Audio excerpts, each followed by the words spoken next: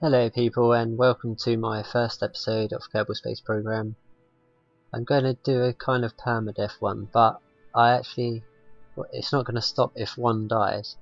I've actually got a uh, burial service little mod that is pretty cool. So anytime a Kerbal dies, uh, you have to wait and see I guess. But yeah, it's pretty cool.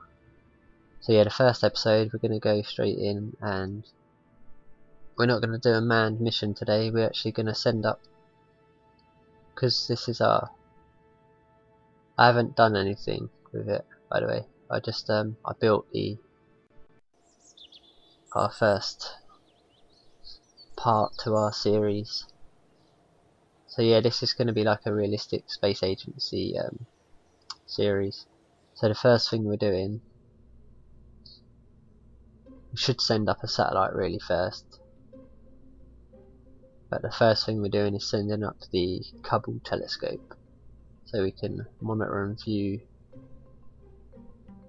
and just look at basically all the places we can visit and how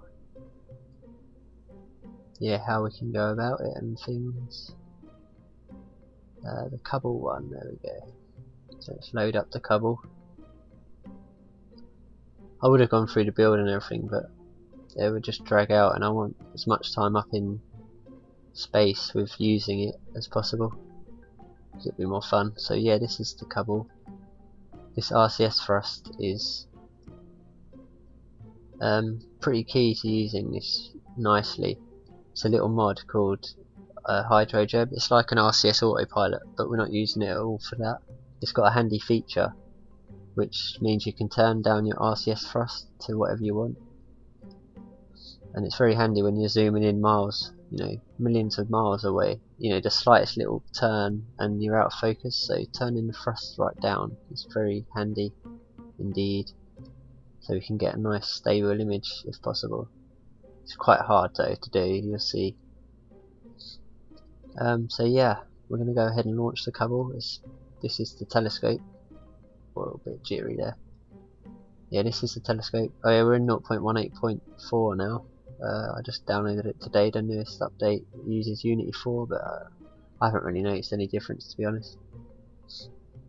So yeah, we've got some monopropellant tanks here. I didn't want to use one to make it longer, so I just slapped them around. Uh, SAS unit to steady us, nuclear power, because I didn't want big panels and whatnot on here. So yeah, we're using nuclear power to keep this baby going just four thrusters, a little tank with a poodle engine on, which is there.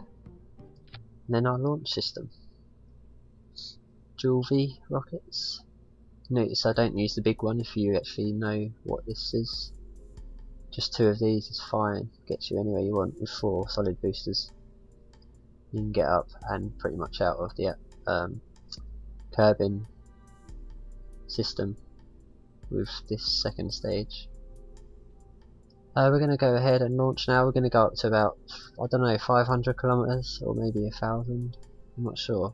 I want to go quite high so we don't get obstructed by Kerbin so much, like too fast. So we have plenty of viewing time. So I'll see you on the launch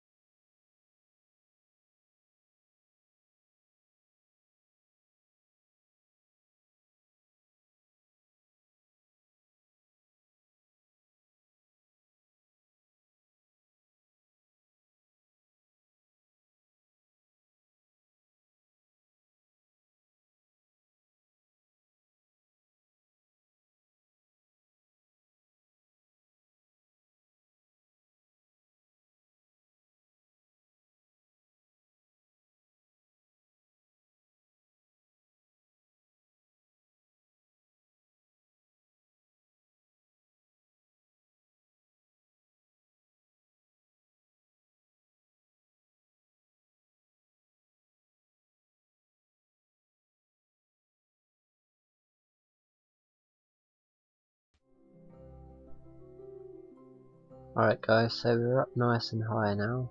Um, first thing we'll do is test that I set up the action groups correctly. So uh, I already deployed the panels, which was one. Number two should open the lid.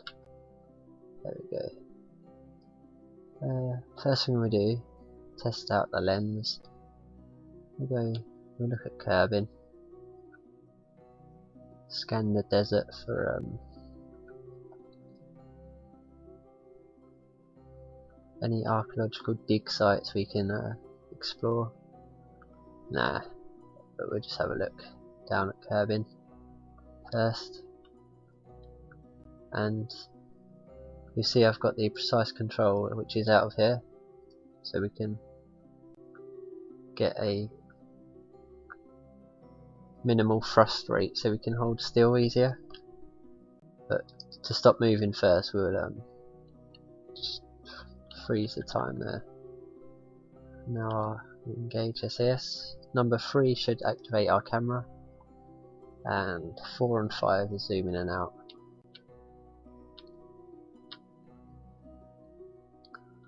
Okay so I'm not sure we, we probably won't get great terrain detail out of this. Yeah, see I've gone right in now. Yeah, and it's become blurry. So, right, let's just go ahead and look for some planets then. Right, let's just check exactly where we are. If we go here, zoom out. So we can see anything this side. Uh, bad position for Eeloo although it wouldn't take a quick little spin. There we go. Alright, let's, let's have a look at Eeloo. That's the furthest we can get to and we can see. Let's uh, go back in and point ourselves onto the target.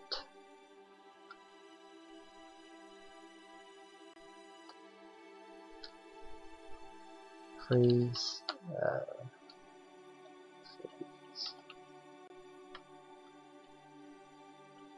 Just hold there a sec while is I got the lens cap open? No. That would help, wouldn't it? There we go. Okay. So now we'll zoom in and we need to look for the twinkle guys. There'll be a twinkle around somewhere.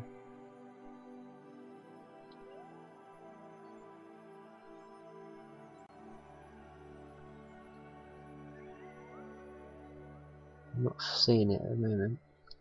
Let's um, engage this.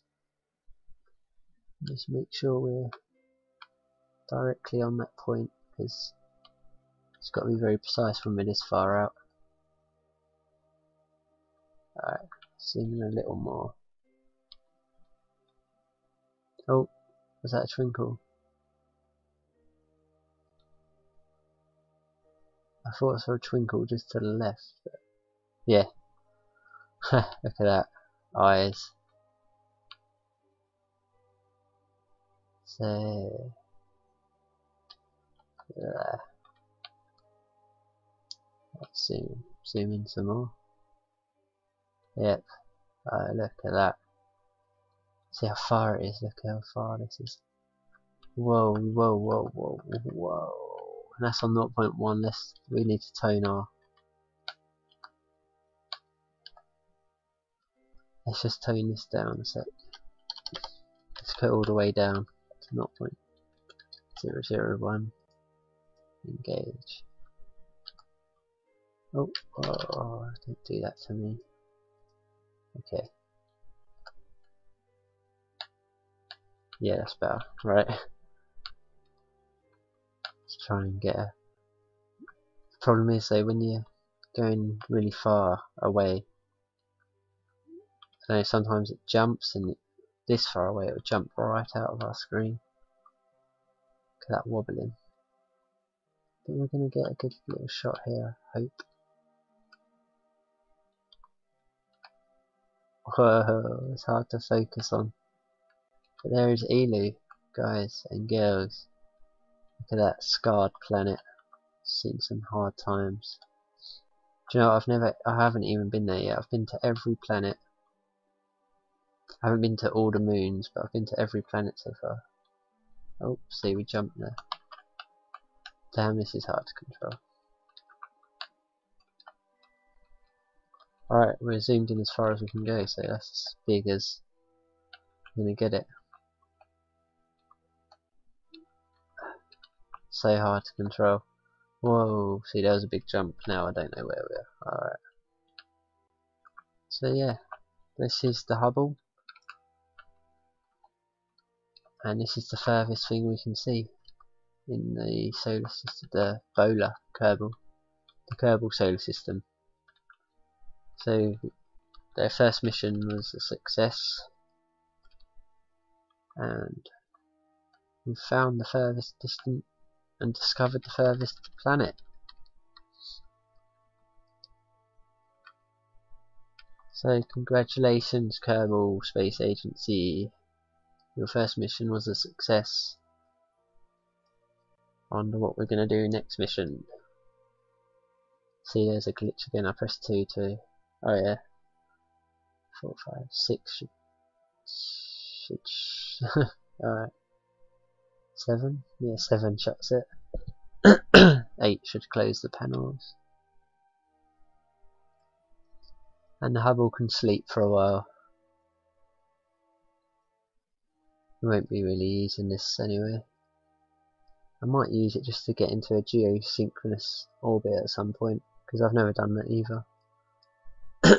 Sorry, I've got a bit of a froggy throat. So yeah guys, that's it for this episode. And the couple. I think next we'll uh, head to the moon. Why not? It's the first biggest step they can do is, apart from actually getting into orbit. But we'll skip that because that's easy. So we'll go to the moon land and we'll set up a little base there and we'll, we'll stay there for a while and then we'll build that station I was talking about. So we'll build like a, a core vessel and then add habitat modules to it by docking them together and basically just build it up. We'll add docking uh, a miner and a like a caffeine shuttle bus system. So we'll send a miner down little mine and then we'll send the little rocket down to go collect it and bring it back up to the station. So thanks for watching and I'll see you next video.